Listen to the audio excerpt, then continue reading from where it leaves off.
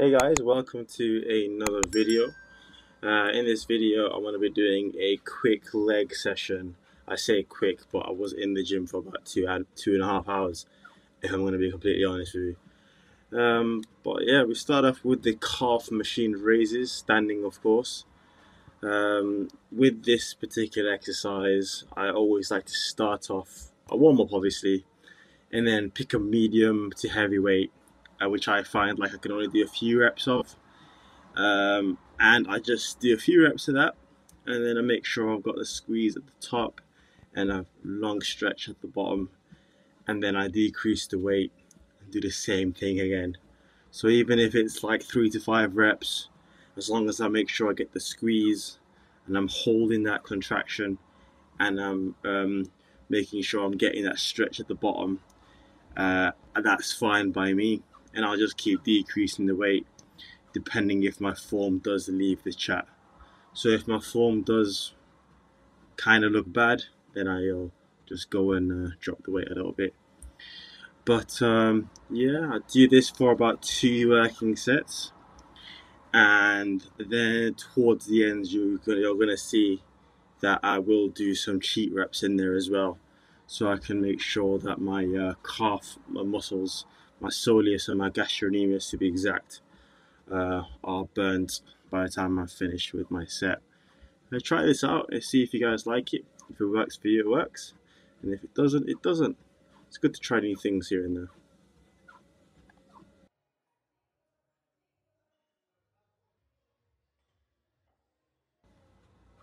So yeah, um, here I'm just testing out the water, seeing how my knees feel.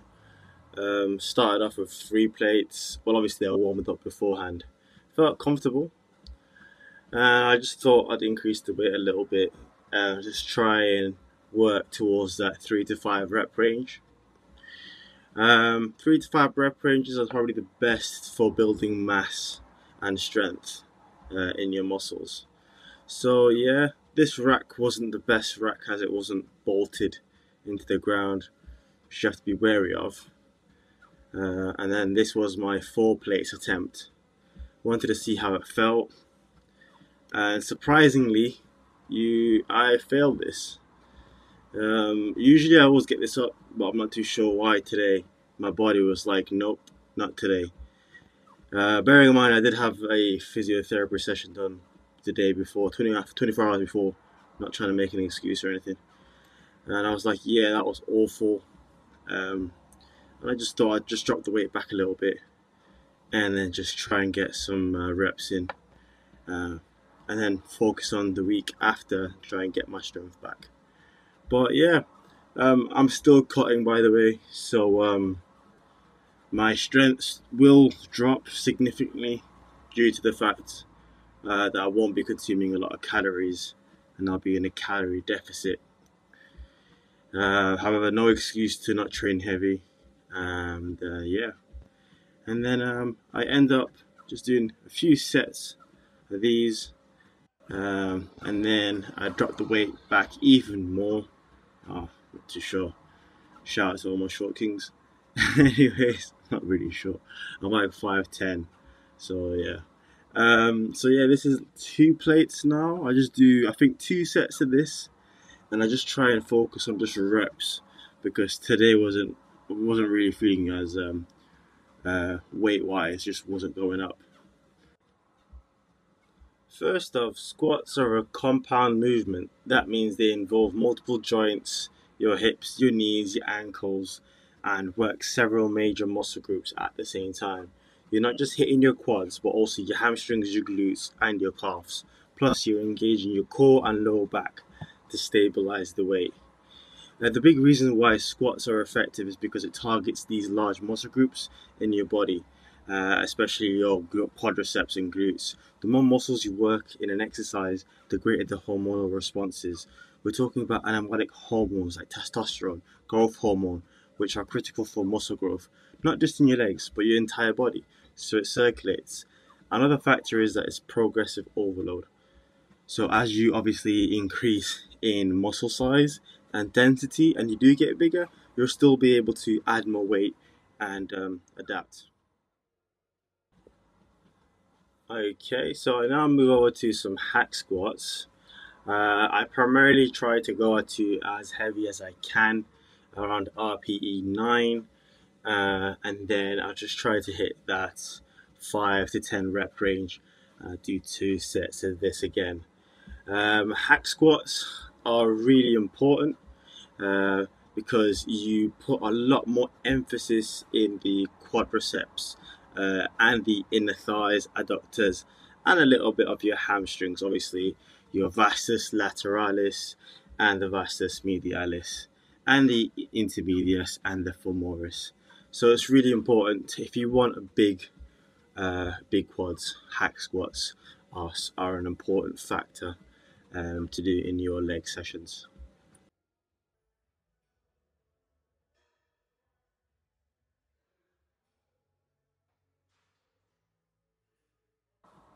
If you are on my program, then you are aware that we are targeting the posterior chain of our bodies. So that means we are specifically targeting the front, which is our um, quadriceps in this case scenario. Um, and that's why we done the hack squats right after our normal squatting uh, uh, exercise. And yeah, if you are interested in joining my program, you can go ahead and message me directly or comment down below with your email address, and I'll send you an invite link to join my program.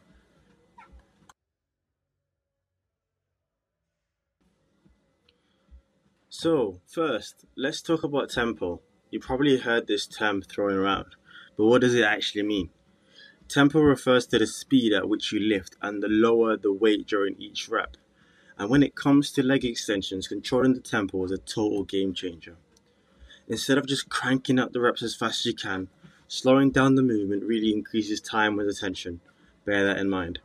That's how long your muscles are working during each set. More time under tension means that the more muscle fibers being recruited and activated, and that's where the real growth real growth begins. Think about it. If you explode the weight up and then just drop it, you're only working half of your quads.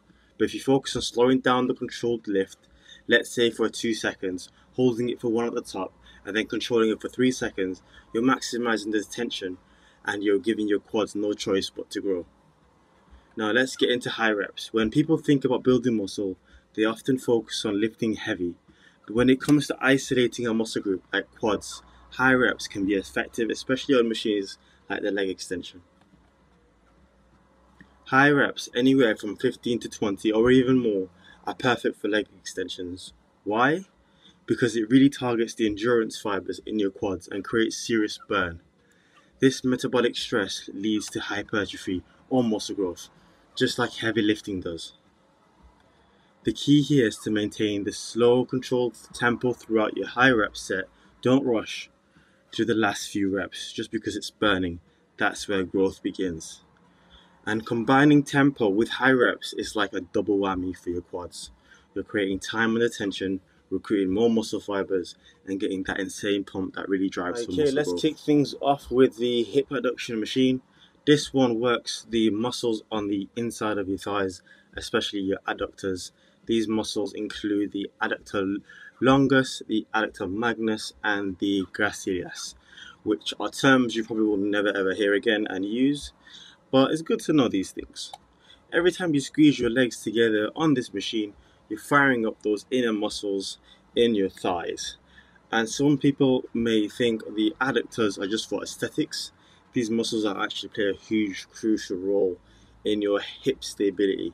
Strong adductors are going to help you stay balanced and stay fit, especially in exercises like squats and lunges, by supporting your hips and the way they move. When your adductors are strong, they help keep your knees tracking correctly, which is super important for body alignment and lower body movement, whether it's in the gym or in any sport. Think about things like cutting or changing directions in football, or even when you're running. Strong adductors are key for that explosive movement. Uh, ever notice your knees caving inwards during a squat?